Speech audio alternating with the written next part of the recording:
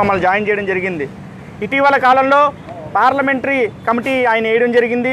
అందులో ఆరు ప్రధానమైన పదవులు ఒక కాపు సామాజిక వర్గానికే వేస్తే ఇంకెక్కడ కులాలను కలిపే ఆలోచన విధానం మీ దగ్గర ఉంది. మొన్న మరి గరగపర్రులు అంబేద్కర్ విగ్రహం పెట్టినప్పుడు నిన్ను ప్రశ్నించమని మేము అడిగామా లేదా? పవన్ కళ్యాణ్ నీకు నిజంగా నిజాయితీ ఉంటే ఈ మాట చెప్పు నువ్వు. పెదగొట్టిపాడులో దళితులను కొట్టినప్పుడు మేము క్వశ్చన్ చేసాం మీరు ఒక వాయిస్ ఇవ్వండి. మీరు టీడీపీతో కలుస్తున్నారు కదా ఒక మాట మీరు చెప్తే ఇవన్నీ కూడా ఆగే అవసరం ఉంటుందని చెప్పాం. అదేవిధంగా ఆగిరిపల్లిలో దళితుల్లో ఇంటెలిజెన్స్ వాళ్ళని- ఇంటెలిజెన్స్ సోదరులను కొడితే వాళ్ళని కూడా మీరు ప్రశ్నించలేదు. మేము ఒకటే అడుగుతున్నాం ఏదైతే కులాలను కలిపి ఆలోచన విధానం అన్నారు ఇక్కడ ఉన్న కాపు సోదరుని తీసుకెళ్ళి వేరే చోట ఉన్న కాపు సోదరునితో కలిపేరు తప్పించి ఎస్సీలకి మీరు ఆరు ప్రధానమైన పదవులు ఇస్తే ఎందుకని మీరు ఎస్సీలను తీసుకోలేదు? అంటే ఎస్సీలు పనికిరారా? పదవులు చేయడానికి అర్హులు కారనా? ఇంకా మీరు ఏదైతే డెబ్బై సంవత్సరాల క్రితం స్వాతంత్రం రాకముందు మనువాదం ఏదైతే ఉందో ఆ మనువాదాన్ని ఇంకా మీరు పెంచి పోషిస్తున్నారా? లేదా బీజేపీ ఆర్ఎస్ఎస్ కనుసన్నల్లో మీరు నడుస్తున్నారా?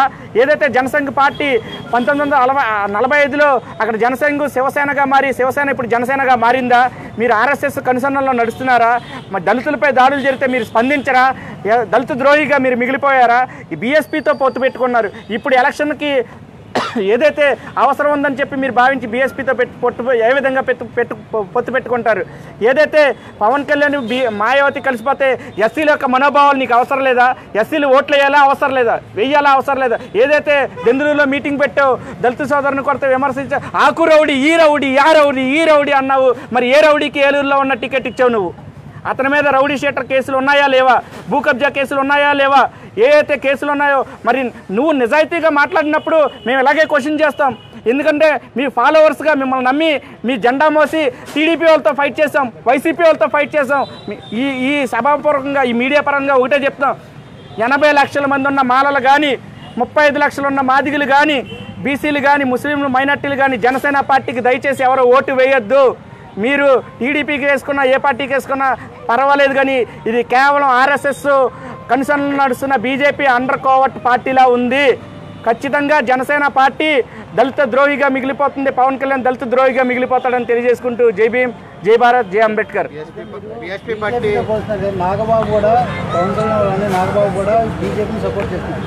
ఇది అందులో భాగమేనంటారా ఖచ్చితంగా పవన్ కళ్యాణ్ ఎలక్షన్స్ ముందు రెండు వేల పద్నాలుగు ముందు ఎవరిని కలిశాడు? నరేంద్ర మోడీని కలిశాడా లేదా? ఈ ఎలక్షన్స్కి నువ్వు కామ్గా ఉండు. ఇప్పటికిప్పుడు నువ్వు ఎలక్షన్స్లో పోటీ చేసినా కానీ నువ్వేం సాధించేది లేదు.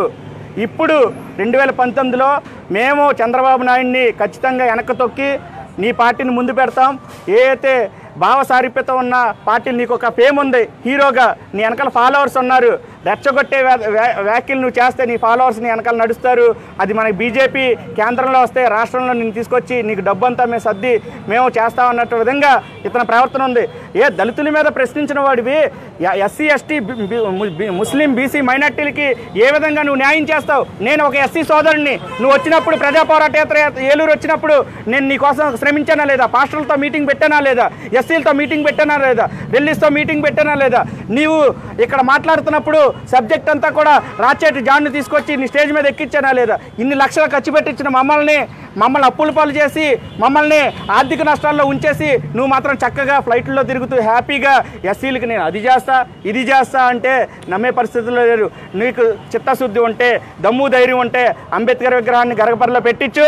అదేవిధంగా ఎస్సీలకి ఎస్సీ కాన్స్టిట్యున్సీ కాని చోట కూడా ఎస్సీ కాన్స్టిట్యున్సీ కాని చోట కూడా ఎస్సీలకి టికెట్లు ఇవ్వు బీసీలకి ఇవ్వు ముస్లింలకు ఇవ్వు ముప్పై ఐదు లక్షలు ఉన్న ముస్లింలని నువ్వు ఉప ముఖ్యమంత్రి చేసి సంతోషపడతాం బీసీలను ఉప ముఖ్యమంత్రి చేసి సంతోషపడతాం నువ్వు ఏం చేసినా ఆ విధంగా చేస్తే లేదా? అమిత్ షా ఏదైతే అధ్యక్షుడిగా ఉన్నాడో ఎస్సీల మీద ప్రేమ ఉంటే ఎస్సీలకి మినిస్టర్ చీఫ్ మినిస్టర్ ముఖ్యమంత్రి పదవి అభ్యర్థిగా పెట్టి నువ్వు మా మీద ప్రేమ చాటుకో అని చెప్పి తెలియజేసుకుంటూ జై భీమ్ జై భారత్ జై అంబేద్కర్. ఏంటండి? వీడియో నచ్చిందా? అయితే ఓ లైక్ వేసుకోండి. లేదంటే ఓ కామెంట్ చేయండి. ఎప్పటికప్పుడు మా వీడియోస్ చూడాలంటే సబ్స్క్రైబ్ చేసుకోండి.